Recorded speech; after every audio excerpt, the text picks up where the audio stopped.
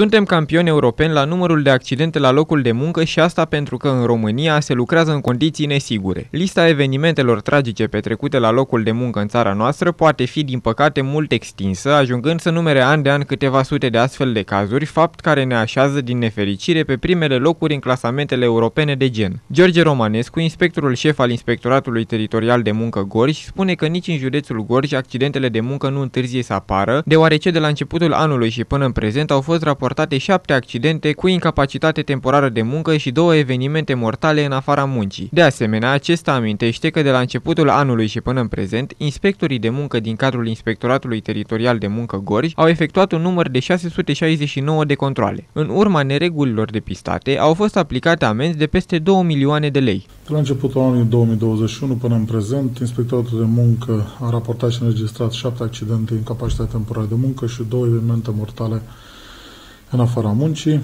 Ce pot să vă spun că în momentul de față se află în cercetare patru evenimente mortale. De asemenea, în aceeași perioadă, inspectorii de muncă din cadrul Inspectorului Muncă Gorj au efectuat un număr de 669 de controle, din care 440 au avut ca obiectiv verificarea respectării legislației în domeniul de muncă și 229 verificarea legislației în domeniul securității sănătății muncă. Au fost aplicate amenzi valoare de 2.042.000 din care 405 pe linia securității sănătății muncă și 1.637.000 în domeniul relațiilor de muncă.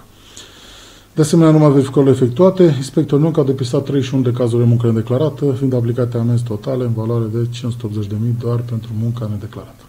Ultimul eveniment mortal aflat în curs de cercetare vizează un bărbat în vârstă de 40 de ani, Steve Uitoris, salariat al unui angajator din județul Gorj, care și-a pierdut viața în timp ce se afla sub motostivuitorul unității la care își desfășura activitatea, utilajul căzând peste victimă, provocându-i astfel decesul. Amintim ultimul eveniment mortal aflat în curs de cercetare, în care un bărbat în vârstă de 40 de ani, Steve Uitoris, salariat al unui angajator din județul Gorj, și-a pierdut viața în timp ce se afla sub motostivuitorul unității unității la care desfășura activitatea, utilajul căzând peste victimă, provocându-i astfel decesul. Inspectorii de muncă s-au deplasat la fața locului pentru a stabili împrejurările și cauzele care au determinat producerea evenimentului, precum și măsurile care se impun a fi luate în perioada următoare. Numărul mare de accidente are cauze complexe, de la lipsa instructajului zilnic, la inacțiunea inspectorilor abilitați să controleze, până la sancțiunile relativ mici aplicate în cazurile critice.